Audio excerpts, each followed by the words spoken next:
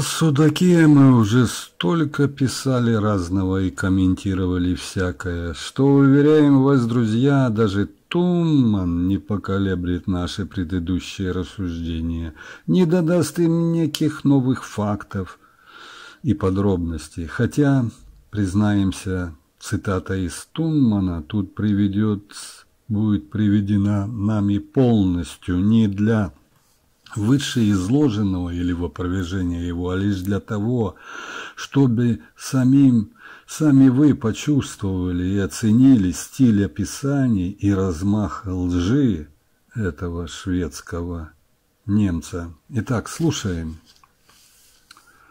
Уже в 1786 году там было, в Судаке, э, в Салдае или в Салдадии, епископство, со временем оно сделалось местобребыванием митрополита. В Каманский, половецкий нибыто период, и прежде чем Кафа его затмила, Судак был самым знаменитым торговым города Крыма. Русские привозили сюда товары с севера.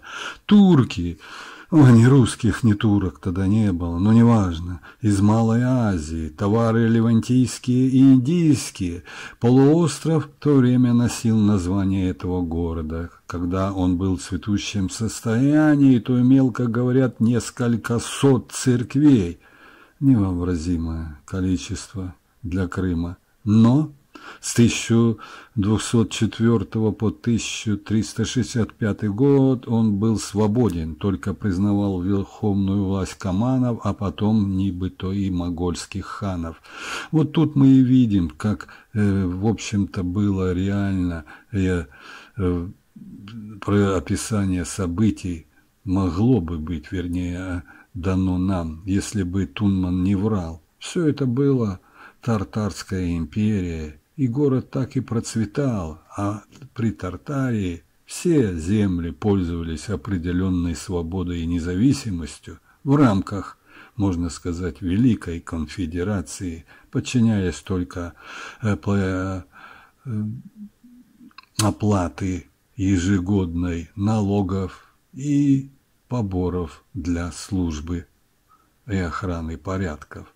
Между ними мусульмане, были также могущественны, потому что жители этого города были всех национальностей и исповеданий, а оно 1323 году изгнали христиан из города на какой-то период, однако. Как мы считаем, тогда не было никакой э, черополосицы, была в верованиях, была одна вера, и она, в общем-то, была и иудейская, и христианская, и мусульманская, а прежде всего ведическая в основе своей. В это время францисканцы уже имели там монастырь. В 1365 году город был завоеван генуэзцами. Опять же, не наверняка позже, когда банда генуэзцев уже, так сказать, осела на берегах Черного моря. И получил э, город католического епископа. Наконец, в 1475 году, уже когда окрепла Османия, его взяли турки. От трех замков и городских стен остались теперь только руины и разрушенная башня. На два миля вокруг города не видишь ничего другого, как только сады и виноградники. Вино, которое здесь делают, лучшее в Крыму. Да, виноградники Судака и Судакской долины были еще до российский период самым важным виноградарческим, виноградарческим центром и вин, виноделия в Крыму. Берег же между Садаком и Хиснесом бугаристый, тоже много городов и замках. Тут, конечно же, живут любимые Тунманом готы, Аланы и прочее. Ну, оставим пока описание и перейдем к рассмотрению других местностей Крыма, упомянутых Тунманом. Ну что, брат Тунман, хорошо так описываете край, никогда не будучи в нем и лишь веря всевозможным источникам, взятым из литературы. Так поступал, например, известный арабский писатель-географ Эндризи или Идризи, происходивший из Нубии, писавший, мол, около 1154 года в Сицилии. В своем труде он написал побережье Черного моря, в частности Крым, с перечислением и краткой характеристикой прибрежных селений. Но сам Индризи в Крыму не был, а все сведения черпал, видимо, даже из не из литературных источников. Смех и грех слышать такое, да и из, а из живых опросов со ездивших в Крым моряков, главным образом итальянцев. Почему? Да потому что он географические названия искажает на итальянский манер и приводит в своей арабской уже транскрипции – и вот Алушта, ее по Тунману основал еще и Стениан I, цитируя, конечно, Прокопия, жившего в VI веке, но скорее в XIV, который повелел построить укрепления в Алустоне и Гурзубита, Гурзуфе и в других местах для защиты от готов. Готы как помним, по официальной историографии, еще в третьем веке прошлись огнем и мечом по Таврии, разрушили до основания. Как? Их мать, каменный Пантикопей, а вот через три века Юстиан решил защититься от них, когда, мол, уже более несколько веков по той же историографии. Тут хозяйничали последовательно, сменяясь гунны, авары, хазары и прочие венгры, как пишет немец Тунман, например. Но немцы, как мы уже отмечали, не могут без своих любимых готов. В конце концов, это их от того земля по вековечным правам получается. Правда, даже Тунман вынужден был признать, что остатки развалин крепости, две башни и кусочки стен не юстиниановские постройки, а генуэзские, то есть до очень сильно более позднего времени. Пусть хоть итальянцы, лишь бы не местные варвары. Пишет Тунман, что Идризи упоминает Алушту под искаженным названием Шалуста. Ох уж эти картавые арабы! Подобное же описание, или скорее упоминание у Тунмана о Ламбаде, Кучук-Ламбаде, Партенике, Урсеве или Курсеве, Гурзуфе, что ли. Но интереснее всего там упоминание о Ялите или Ялте, крепости э, Бурге, с рейдом и тоже на берегу моря. Сами понимаете, как звучит елита на одном из языков. Но если не знаете, то это одна из частей тела внутри человека. Тунман пишет, она принадлежала тогда каманам. Мы считаем, что половцы не были тюрками, как бы ни были скифы таковыми, с роскошными и жадными глазами от этого неуча Блока. Все это немецкий бред, ложь и подмена, а значит, Крым тогда принадлежал одному из племен славян наязычных скажем так, условно, или ариязычных, что идентично по-нашему, или, по крайней мере, принадлежащим к одной и той же со славянами этнографической и антропологической группе. Только прошу тут, друзья, не приводить аргументов известного Клесова, перевернувшего всю историю в угоды Иудова масонской элиты, скажем так. Хотя элита это не скорее более похоже на э, хозяйничающие на нашей земле паразитов. И точка. Конечно, в Крыму была и большая домешка Алан или Асов, но равнять их с современными осетинами тоже неправильно. Балауклава – маленький город по Тунману на восточном стороне устья Балуклавского залива. Вот его описание, довольно-таки интересное. Балуклава – маленький город на восточной стороне Балуклавского залива. Он лежит высоко на горе и имеет около 300 плохих домов. Жители большей частью греки, евреи и турки. Ее гавань, правда, мала, но она из лучших и наиболее надежных во всем мире. Она везде окружена высокими горами, вход в нее шириной всего 40 шагов. Самое древнее название этого места было Симболон-Лимен, Балон-Лимен, что ли. В четвертом столетии она называлась уже Сюмболон или Сюмбулон. Итальянцы называли ее Чимбала, Чимбальда, нынешние греки Ямболи.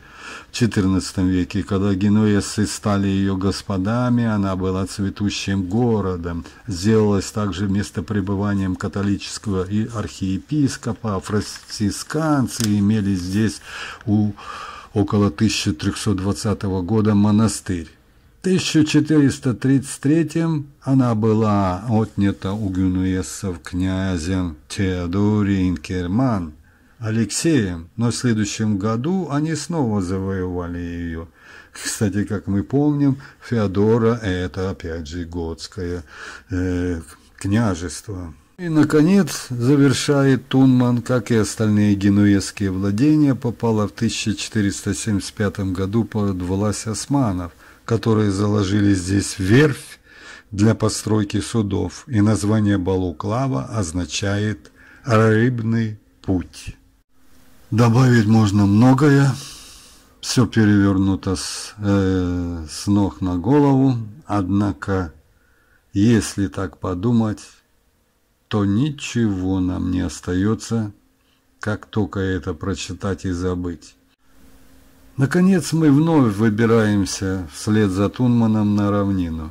Интересно, он э, водил ли когда-либо так пальчиком по карте? Или вообще в ходе работы на нее заглядывал? Итак, мы будем тут выслушивать очередное описание Го Тумана о Гожлеве или Гюзлеве, Гюзиеве, новый из самых значительных городов Крыма, то есть о нынешней Евпатории.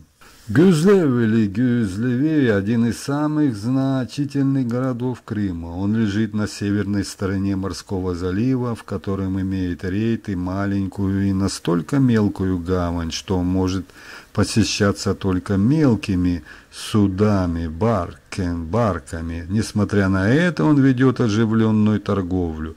Он до сих пор является тем местом, куда восточные нагайцы привозят наибольшее количество продуктов своей страны. Турки привозят сюда рис, кофе, сушеный инжир, изюм, финики, сукно и шелковые материи возвращаются нагруженные невольниками, зерном, особенно ячменем и солью. Город обнесен вокруг каменной стеной и башнями, имеет приблизительно 2500 каменных домов, много прекрасных мечетей и населен главным образом тартарами, турками, греками, армянами и евреями. Вероятно, здесь находился древний Керкинитис, называвшийся впоследствии Коронитис, Русские Гюзлеве называют Козлов. Они овладевали этим городом в 1736 и, наконец, заняли его в 1771. Опять мы видим следы потопа недавнего. В 30 верстах от Козлова находится недалеко от морского берега два соляных озера, имеющих около двух миль окружности, из которых извлекается, с восторгом упоминает Тунман, огромное количество соли, которая, мол, оседает в летние месяцы. Скорее, это Сакское и Козелярское озера, недалеко, уже ближе к Евпатории, находится еще одно соленое озеро, но это не о нем идет речь у Тунмана, Сасык-Севашское. Далее пишет Тунман даже о зна знаменитом Форосе, где укрывался несчастный последний правитель Советского Союза Михаил Горбачев по кличке на Западе Горби. Вот краткое его описание. Не у того, как укрывался этот э, президент, резидент на, э, на советской земле, а самого Фороса. Это тем более знаменательно знать, потому что события 90, 1991 года записала Форос в исторические анналы с большой буквы. Дип-Тархан называется большой, но низкий мыс, дальше всего простирающийся на северо-восток-запад, конечная часть которого называется Эский Форос, Старый Форос или Кокино-Фонар. Древнее название было Тамираки, по которому назывался и залив, простирающийся между Крымом и Восточным Нагаем до перешейка Ор. Впоследствии этот залив назывался Некропила, и позднее у итальянцев Негропила и Гольфо ди Негрополи. Турки называют его Олуденгизи, Мертвое море или Аксмеджит-Лимани. Они, он очень глубок, так что во многих местах можно продвигаться на нем. Он очень неглубок, так что во многих местах можно продвигаться на, по нем только на блоскодонных судах и шлюпках. Как видите, плавно перескочил Тунман от Фороса к Сивашу, и это знаменательно. Форос никогда ничего не значил, если бы там не появился великий Горби. Видим также, что фонар, то бишь переиначенный на фора, скорее всего, свидетельствует о том, что когда-то тут в древности находился фонарь, то есть маяк был. Ну, это уже, в общем-то, следы по нем, как говорится, загинули.